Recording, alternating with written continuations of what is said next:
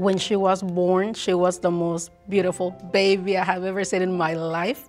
She had the biggest, biggest cherry lips. She was precious. Bear was a full-term baby. Everything was completely normal. We had scheduled a C-section, and then the next day we had the, the people come in with the big machine to do the newborn hearing screen. It took about 20 minutes, and she said, "Yeah, he's he's not passing this hearing screen."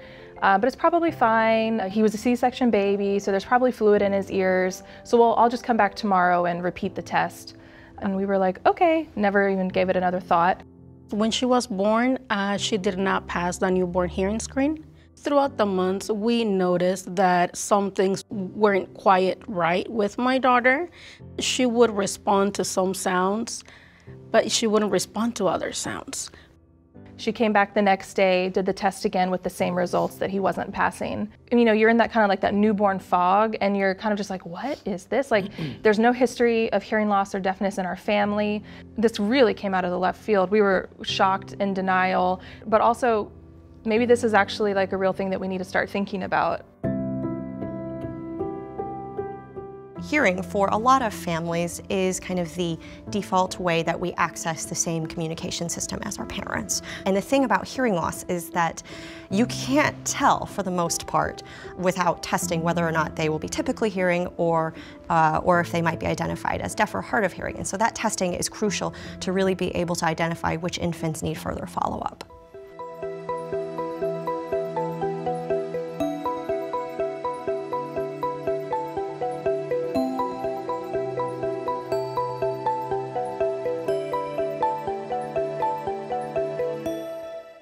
I had Janine on my lap. She was going through this book, and they started the test.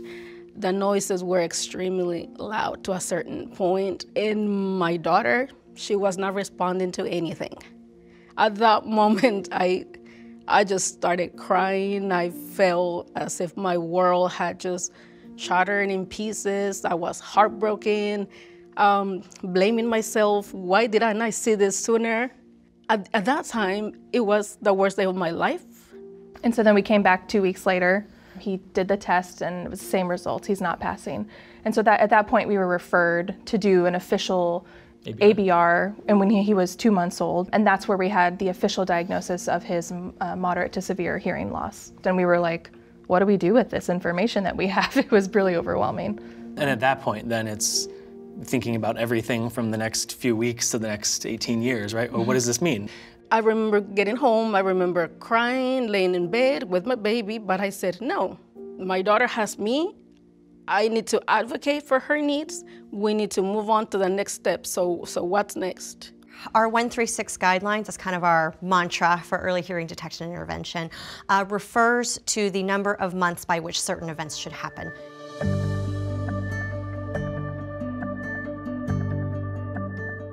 In an ideal world, we would want every infant to receive an initial newborn hearing screen by one month of age.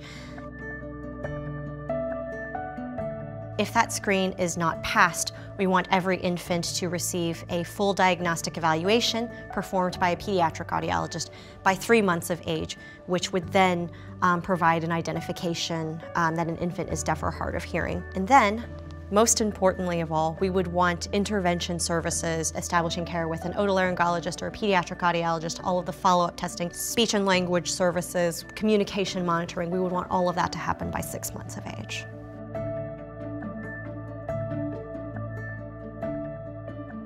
If we hadn't done that screening and had that ABR and seen the actual data to know that, yes, this is a real thing and this is the level of it and here's the resources from now on to know how to deal with it, it would have been really easy, even seeing signs of any hearing loss without having those official results, to say, no, it's, it's probably not that, right? And he's probably fine, we'll wait till he gets older and you know, see then if maybe this is a thing. But had we done that, we would have lost a lot of really precious time in intervening and improving his life. What I want to tell them is that your journey is just beginning. I recognize that that first initial diagnosis can be hard to hear if it wasn't what you were expecting to hear. But the thing is, is that um, you have a wealth of resources at your disposal. Um, you have practitioners and you have early intervention specialists and there is a giant network of people here and you are at the center of that. The most important thing that I'd say to these parents is it will be okay Resources are out there, and you're not alone in this journey.